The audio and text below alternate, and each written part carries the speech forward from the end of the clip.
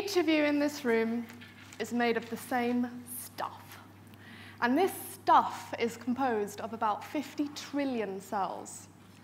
And every single one of these cells has devoted its life to a particular function in keeping you alive.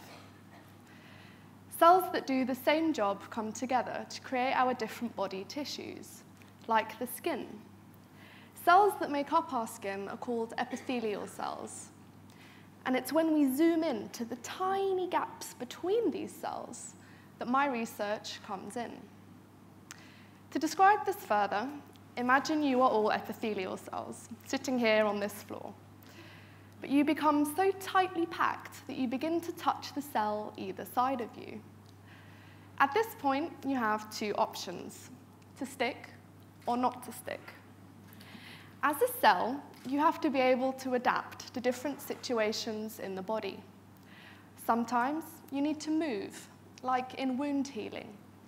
But most of the time, you stick and you stay put, keeping tissues nicely organized. To stay where you are, it requires many different proteins in the side of the cell, the intricacy of which has been beautifully illustrated here. But a key part is played by one protein called E-cadherin that sits at the surface of the cells and makes stable bridges to the cells either side, a bit like you now all holding hands, and this would thereby keep you in place. It's important, however, to keep E-cadherin flexible to allow for cell movement. And so many proteins therefore exist to regulate the function of E-cadherin.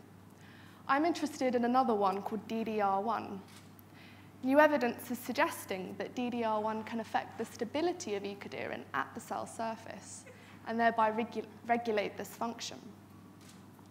As of yet, it's not known how exactly this happens and is the main question I'm hoping to answer in my PhD. So why does this matter?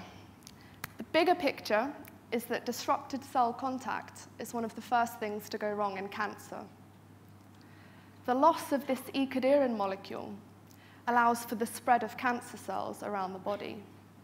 The reason why we're so interested in DDR1 is that it's overexpressed in a wide variety of cancers and increases both cancer cell survival and spreading. If we can better understand this connection between DDR1 and E-cadherin, perhaps we can slow down, if not stop, the spread of cancer. Ultimately, we hope to improve patient outcome. Thank you.